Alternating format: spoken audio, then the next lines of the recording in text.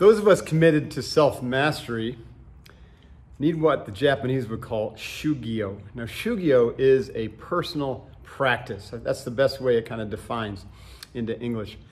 So consider what is your personal practice? And are you committed to mastery to begin with? And what does that even mean?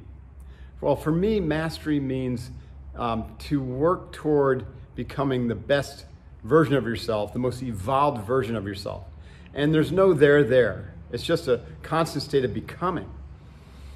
And shugo, shugyo, or having a personal practice, is a very specific routine that you do every day. Now, it's not like I'm saying you do the same five movements or the same two things, but it is a commitment to doing certain things every day that will evolve you.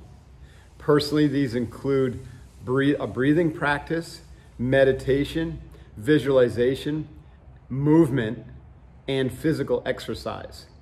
Those are my, that's my shugyo, and I won't go without it. Not a single day will go by. I'll modify and vary it up every single day. But with my shugyo or personal practice, that's a commitment that is as important to me as eating and sleeping. So consider what is your shugyo or your personal practice? And are you committed to becoming the highest and best version of yourself, and to evolving yourself, to becoming more capable, more competent, tapping your full potential, and serving more powerfully? Let's get busy with our Shugyo.